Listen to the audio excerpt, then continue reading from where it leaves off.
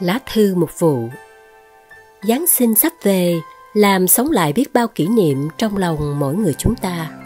Phải không, thưa quý ông bà, anh chị em? Chắc chắn rằng ai trong chúng ta cũng có những kỷ niệm thật đẹp về Giáng sinh. Nhưng những kỷ niệm ấy có mang lại cho chúng ta ý nghĩa thật chính xác về Giáng sinh hay không? Chắc tùy mỗi người. Nhìn phố phường và các cửa hiệu trang hoàng thật tưng bừng. Đối với những người làm thương mại, Giáng sinh là một dịp béo bở nhất trong một năm để kiếm tiền.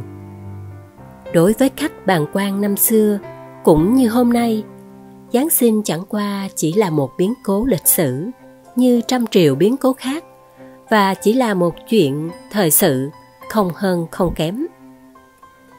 Chuyện thời sự ấy xảy ra như thế nào? Ai trong chúng ta cũng biết.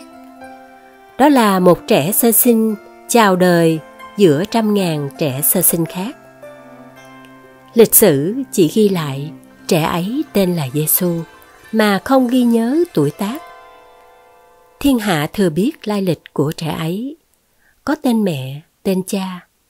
Mai sau, lớn lên, khi cất tiếng rao giảng giữa đường, giữa chợ, những người đồng hương đã mỉa mai. Ồ, con trai ông thợ mộc du xe.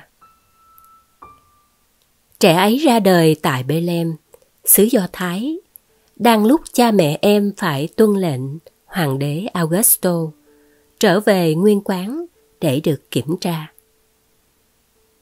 Chẳng có gì lạ, dĩ nhiên chúng ta còn nghe những chuyện khác thường trước và sau Giáng sinh. Nào chuyện thần tiên ẩn hiện, nào chuyện báo mộng phi thường, nào chuyện các người chăn chiên nghe tiếng nhạc huyền bí, nào chuyện ba vị chim tinh gia dỗi theo một vì sao, nào chuyện vua Herode đa nghi hơn cả Tào Tháo, ra tay giết hàng chục trẻ thơ vô tội. Còn đối với những ai chứng kiến với lòng tin, chứ không làm khách bàn quan đứng ngoài mà nhìn. Trái lại, họ hồi hộp đứng ngay bên trong hang đá, thì Giáng sinh là cả một bước dấn thân. Giáng sinh đã làm nao núng cuộc sống của họ và đã thay hình đổi dạng cuộc sống ấy. Nghĩa là Giáng sinh đã ăn vào da thịt họ, đã thấm vào xương tủy, đã chiếm trọn trái tim họ. Hãy nhìn lại bà Maria và ông Giuse chẳng hạn. Bà Maria đã kinh ngạc khi nghe sứ thần nói, nhưng rồi bà đã tin nhận và vâng lời nhập cuộc vào đại cuộc của Thiên Chúa. Giáng sinh đối với bà Maria không còn là một chuyện thời sự mà là cả một lẽ sống mà bà sống cho tới cuối đời. Ông Giuse cũng thế, khi ông còn bán tính bán nghi về cái bào thai, có thể cũng chỉ là một chuyện thời sự và là một chuyện rắc rối cho ông. Giuse chỉ mong thoát ra ngoài để khỏi phải trở thành người trong cuộc. Nhưng vì lời báo mộng mà ông cũng đã tin nên ông chấp nhận nối liền viên kết với bà Maria. Như vậy Giáng sinh đối với ông không còn là một chuyện thời sự nữa mà là cả một cuộc đời của ông. Ngoài ra, phải kể đến các mục đồng nữa.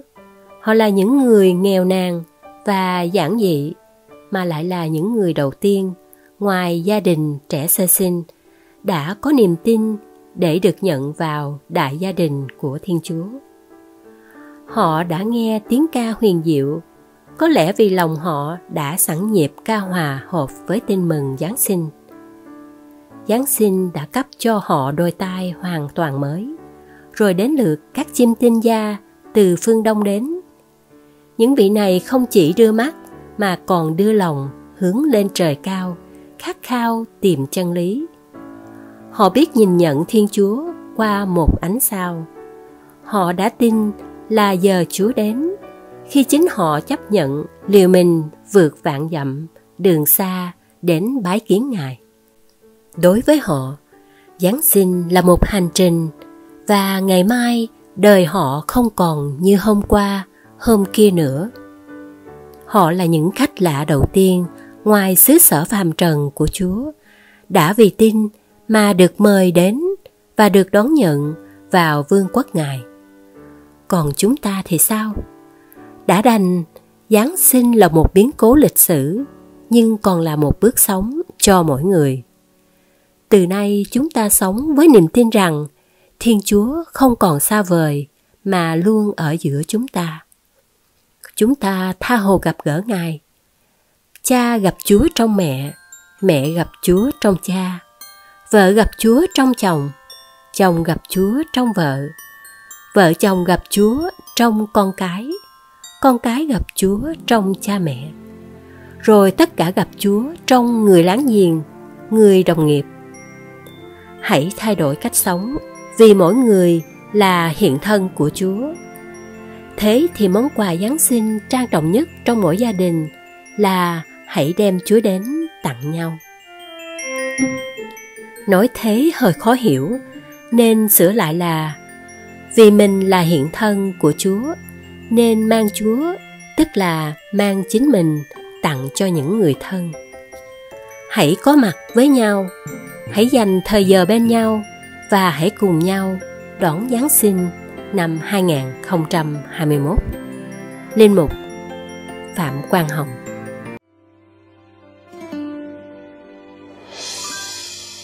Chúa ơi, Ngài đã biết lòng con yếu đuối. Bao phen con làm ngơ với Ngài giữa dòng đời đầy trống gai. Con bơ vơ lạc lõng nơi con đường dài. Chúa ơi, để con nhận ra tiếng ngài. Rồi từ đây, ngài cất tiếng mời gọi. Mời gọi con khám phá cuộc đời mình giữa muôn trùng sóng gió của cuộc đời. Nhận ra chúa là tâm điểm đời con. Chúa ơi, cảm ơn chúa đã đến giữa đời con. Chúa ơi, cuộc đời con xin trao về ngài. Ngay khi vui hay khi thất bại giữa dòng đời đầy bon chen. Xin cho con nhận ra tiếng chúa chúa ơi. Sống giữa cuộc đời này